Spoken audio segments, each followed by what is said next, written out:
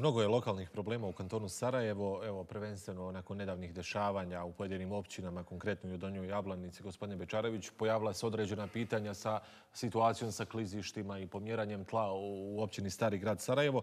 E, građane Sarajeva je poprilično je zabrnulo klizište koje se nadvilo nad gradom. Evo, predlažem da prije nego načnemo tu temu, pogledamo šta kažu mještani ugroženih naselja.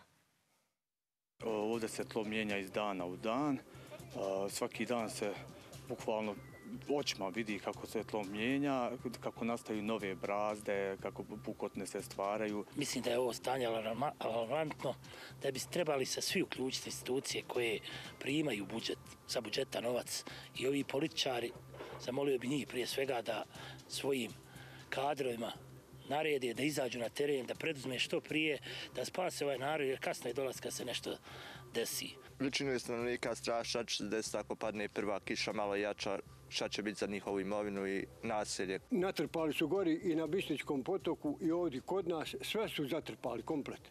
Komplet su sve zatrpali kamioni, materijala i materijala. Šumije nema i šta, svaku kišu očekujem da će se nešto desiti. Problem je evidentan i vi ste ranije već upozoravali na njega. Šta je rješenje, šta nudite, postoju ili kako reagovati u ovakvim situacijama? Nek se uzme moj mobitel i nek se pogleda. U augustu mjesecu 2023. godine slikano sve i dostavio vladi kantona. Niko ništa nije uradio. Gledali me kao da sam zombi. Otad već upoznat? Da, svi. Evo, ja dajem svoj mobitel, nek se pregleda. Nek se vidi jesam li to radio. Znači, u, znači uopšte nisu reagovali. Nema, nemam odgovora na to uopšte. Ništa. Tišina. Onda sam samo inicijativno u ministarstvu sa kolegama uputio dva dopisa. Znači, septembar 23. godine. Upravo po pitanju Bistričkog potoka. Ti, ti dopisi su objavljeni u, u medijima. Dao sam ih. Jer jednostavno, to vam je ta vlada. Znači, oni jednostavno, tu, ja, ja vama ne mogu objasniti. Znači, šta god da, da im kažete ako se dešava problem. Ništa. Ako neko drugi riješi problem, dolaze da se slikaju. I oni su riješili problem. Znači, ovo je ozbiljno. Ovo je preozbiljno. Znači, uh, oni koji su još stručni od mene vezano za, za, za, za ovaj, ovaj segment. Pa ljudi ne mogu da vjeruju šta je gospodin Bošnjak izjavljivo na onoj preskonferenciji prije neki dan. Znači, znači golim okom se vidi zemlja kako ide. Znači, jednostavno ovo nije normalno. I... Šta uraditi? Nije ovo jedino klizište, ima ma nije, više ma, po Sarajevu. Postoji, u Sarajevu. Postoji neka strategija, nešto Ne postoji. Htio sam donije zakon o klizištima upravo zbog sukoba nadležnosti općina. Otjerali nas. Znači, evo kaže vam... Da ne zavisimo sada kao u ovoj situaciji od tako entiteta. Je, i... Tako je, nego da se zna, znači da se zna onaj koji je nosilac i onaj nema, nema onda više. Da li je to općinska nadležnost, kantonalna nadležnost, nadležnost grada. Napravite zakon o klizištima i riješite više to, taj problem. Jer Sarajevo je na klizištima. Ovo je ozbiljan problem koji može eskalirati do neslučenih razmjera. Ja ne razumijem da niko ništa ne radi, nego oni kažu situacija je pod kontrolom. Znači nama ministar resurni kaže situacija je pod kontrolom. Kako je pod kontrolom? Tako što su došli, pogledaj. Kakva je situacija u javnim preduzećima? Mnogo pišete o tome, upozoravate. Nedavno smo imali hapšenja konkretno u radu, kako uh, prvih ljudi bivše, tako i sadašnje Sjećate uprave. se naše zadnjeg razgovora? Da. Jesam vam sve najavio? I bit će, ovo je tek početak. Jer to je tamo leglo kriminala. To je katastrofa šta se tamo dešava. Vodovod će imati istorijski gubitak. Rad, falsikovali sve. Vodovod falsikovali sve. Sarajevo gaz će biti u gubitku minimalno 3-4 milijuna. Ne znam kad je zadnji put Sarajevo gaz bio u gubitku. Jedno tamo neko kreativan u knjigovodstvu pa da to ovaj, anulira ako mogne. Mada ne znam kako će. Znači jednostavno situacija u javnim komunalnim preduzećima je na granici pucanja. Na granici iz nemoglosti tih kompanija Jer jednostavno sada su u procijepu. Znači, ogrom će biti gubici. Svi će gotovo poslovati sa gubicima. Iz eventualno, možda to plane neće, ali neće zato što su manje trošili gasa. Pa, realno, ovaj, imali su toplo, toplije vrijeme, pa će se ovaj na neki način oni izvući. Ali ovo ostalo je, to, to, to, to je katastrofa. Mi, mi, mi ćemo tek osjetiti posljedice u narednih pet godina ovo što su oni radili za ovih nekoliko godina. Znači, znači Znači, nema, ja opet ponavljam, ja ne znam po koji put ovo ponavljam. Svi direktori izvršni, gotovo svi, direktori izvršni i direktori s pod istragama. Znači, samo je stvar u kom trenutku će, kao ovo što se desilo u radu. Znači, nisam im ja to radio, oni su to radili. Ne treba oni da budu kim ni na koga. Jer ako neko falsikuje svoj radni staž, pa, va, pa vas neko na tu činjenicu postavi za direktora, a onda nam priča kako će sve biti drugačije nego što je nekad bilo, a oni napravili još gore nego što je bilo, onda ja stvarno ne znam ovaj, ima, li, ima li kraj ovom začaranom krugu. Tako da, očekujte, ja se nadam, ja, ja da, da tako kažem, očekujem da sve ono što sam govorio, evo prvi je rad, jer ja sam isto tako, pored ureda za korupciju, podnio prijavu upravo na ovo što je, što je. Znači, šest puta su imenovali po šest mjeseci i kad sam pitao tada zašto ne raspišete konkurs i izaberete normalno direktore, meni tada direktorica kaže neće mene niko smjenjivati ovaj, iz mandata. I onda vidite vi da, da, da ste vi došli u zonu sumraka, Twilight zone. Znači, o, to je nestvarno. Šta, šta, šta sam za tih evo, par mjeseci vidio i čuo? I sve će se to pokazati u narodnom periodu. I ono što je još bitnije, ured za korupciju koja je formirala ovo vlast i koja je došla na krilima te borbe protiv korupcije, pa to su sabrana dijela rat i mir ovaj, kriminala. Znači, objavljeno javno i oni još kažu da su u, u ovaj sasjekli korupciju. Pa evo kako su sasjekli. Vidimo po vozilima koje ulaze u javna predzeća i to samo krimodjeljenja MUPova. Spomenuli ste malo čas e, grinu sezonu kada smo govorili o zagađenosti zraka. Opet se pokreće to pitanje grijanja, jeli, odnosno problema sa grijanjem u Vogošći. Zapelo je oko odobrenja sredstava vlade za u grinu sezonu.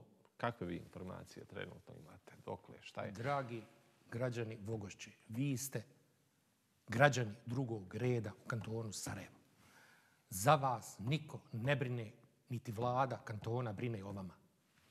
Razlog vrlo jednostavan. Nemaju novca, ne znaju. Ne znaju. Jer jednostavno tom preduzeću su znali da moraju dati milion maraka i da direktor mora kupiti mazut. Jer to je sistem svake godine isti.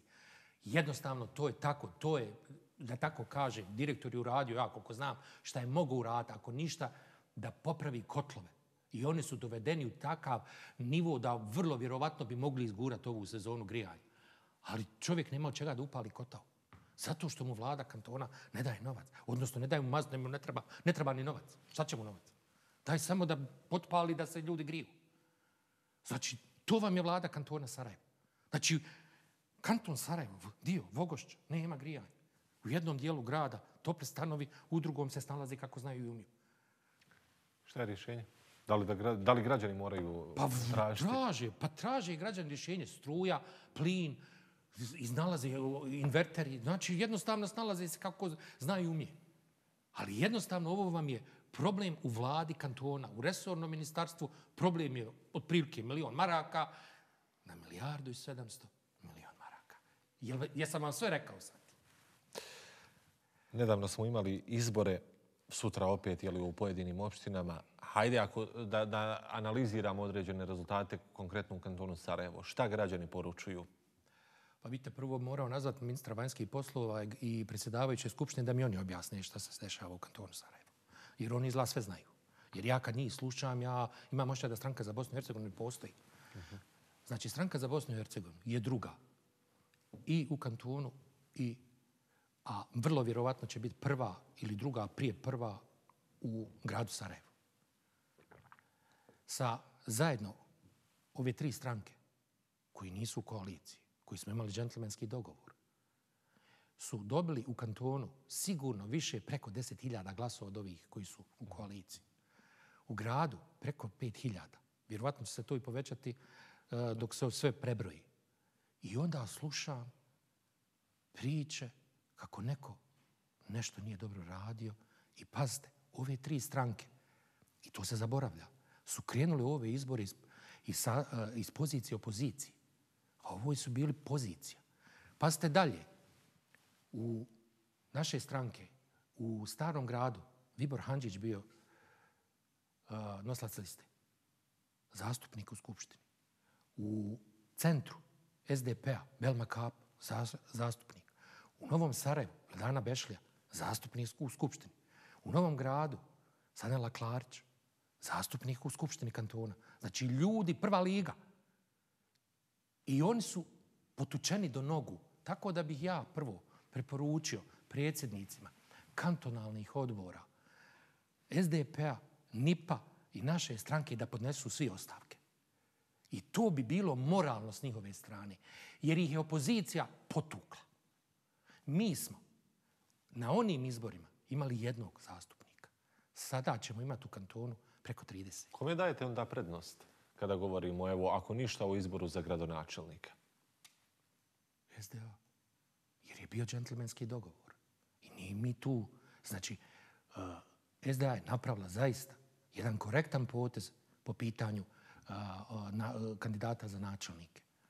Da, meni je, znači, svima nama je krivo i žao što je gospodin Kolđa napravio ono što je napravio u Novom Sarajevu. Do nogu bi ih potukli da je još gospodin Mamer Bandić prošao. I on je zaslužio da prođe. I on bi prošao da nije bilo gospodina Kolđe. I to bi bilo, to, to, to, to, oni se ne bi, ne, ne bi sebi došli od takvog jednog poraza. Tako da jednostavno ovaj volio bih da realno pogledaju kako su ovi izbori završeni i ono što je još bitnije, još jedan pogled na ove izbore, ono sa kakvim su sredstvima oni raspolagali. Ove tri stranke, SDA i nekako i može parirati, ali DF i mi, pa mi, znači, to, to, to su smiješni iznosi koje smo mi uložili za ono. Pa samo SDP, zadnji podatak je bio, je uložio milion maraka. Mi smo bili možda na 150-200 hiljada. I pazite, takvi budemo drugi. I onda slušam... Hoće, hoće li rezultati ovih izbora značiti nešto i kada govorimo o kantonalnom nivou, eventualno neku rekonstrukciju vlade? Teško. Oni, oni se bave sami sobom. Oni, sam, oni, oni vrte priču unutar sebe. Jedni prelaze iz jedne stranke u drugu stranku. Znači, očekujete onaj kad izađe iz pozicije da će preći u opoziciju, a on ode opet u poziciju. Znači, jednostavno, ovo je luda kuća u, u kantonu. Ali to je najgore što će ovo, sve ovo, znači ja vam odgovorno tvrdim, isto ko što sam vam prije par mjeseci kad sam ovdje bio rekao šta će biti sa kantonom, tako vam i ovdje govorim. Znači oni će uništiti ovaj kanton. Uništit će ga. Znači jednostavno jer nemaju osjećaja. Nemaju osjećaja za novac. Nemaju osjećaja za, jer jednostavno to su ljudi, većina njih nemaju biografije koje bi vam garantovale znači da, da, da jednostavno da, da vidite izrasle ljude koji znaju kako u kojoj situaciji reagovati. Znači vama klizi zemlja gore kod Bistričkog potoka, oni pogledom kažu dobro je to. A građani vam kažu ovo što vam kažu. Pa, znači, totalno ludilo. I moram vas pitati, nakon ljetne, a onda izborne kampanje u zastupničke klupe, odnosno parlamentarne, vraćaju se federalni parlamentarci, imamo već najavljenih sjednica. Mislite li da će konačno na dnevni red doći pitanje južne interkonekcije? Kako se to može najbolje završiti? Šta, moram... Izvinite, šta vam je to? Šta je južna interkonekcija? To je neki novi pojam. Pa su obećali. Obećali. Znači, obećao premijer u septembru da će biti oktobar, za 15 dana novembar. Gdje je to? Hiljadu maraka, zakon južno.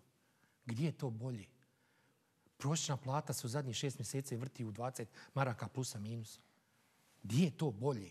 Nek mi neko kaže, ja možda ne vidim, možda sam slijep. Nek mi neko kaže u kantonu to bolje nešto. Ja to ne vidim. Samo nek ne priča o tramvajima, molim se. Znači, okej, okay, tramvaje smo imali prije 130 godina. Znači, dajte, dajte, ljudi voze autobuse na hidrogen, mi pričamo o trolejbusu pustite mi si to. Stvarno dajte da, da jednostavno ovaj, u, u, realno sagledavamo stvari onakvim kakvi jesu. Nije problem malo ušminkat. Ali dvije kile šminke na lice staviti, mislim, to je previše. Hvala gospodine Bečareviću Hvala. na svim analizama i prije svega na dolasku. Hvala vam na pozivu. Toliko u emisiji 7+. Gledajte nas i sutra. Sve vijesti iz zemlje i svijeta pratite na portalu haja.ba. Želimo vam ugodan ostatak večeri i doviđenja.